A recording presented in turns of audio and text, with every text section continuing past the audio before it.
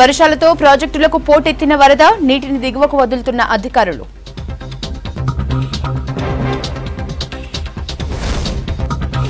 హరితహారం కోసం cycle track పై గుంతలు వరంగల్లో కోట్ల రూపాయల ప్రజాధనం వృధా.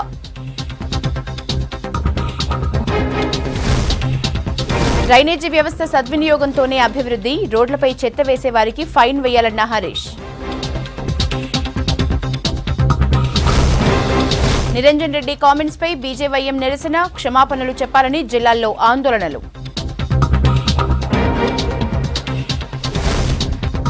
భద్రకాళి గుడిలో శాకంబరి ఉత్సవాలు శుక్రవారం కావటంతో పెరిగిన భక్తుల రద్దీ.